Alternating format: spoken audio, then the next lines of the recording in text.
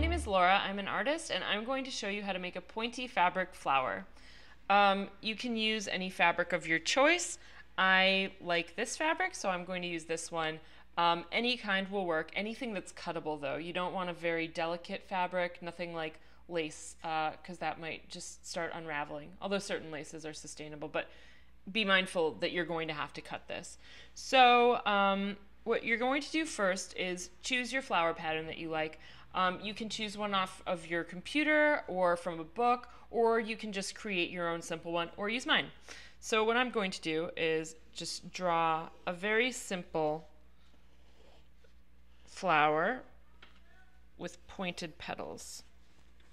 Very graphic and bold.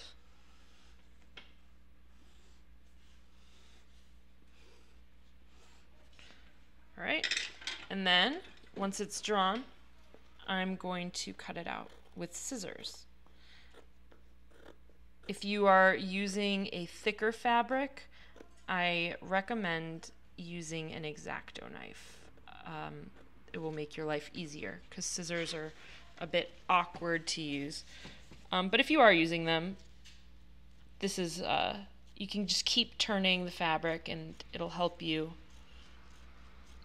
uh, work your way through it without turning your hand in really awkward ways because that's the most awkward part about scissors.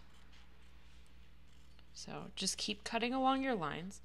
Uh, don't worry so much about uh, about if there's any like line marks left on the fabric because the lined side can be the back side of the of the flower so it can be hidden.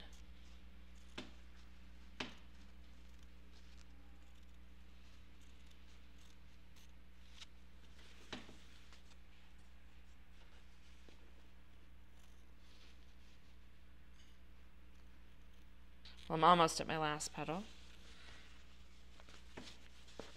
And so I'm just going to show you the basic of like how to how to do the basic flower, but if you wanted, there are a lot of things you could do with this now that it's cut out. Uh, first of all, clean up the edges.